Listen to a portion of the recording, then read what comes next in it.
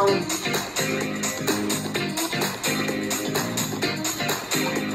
chúng ta cũng như là nó lẩu những cái sự đậm phong trộn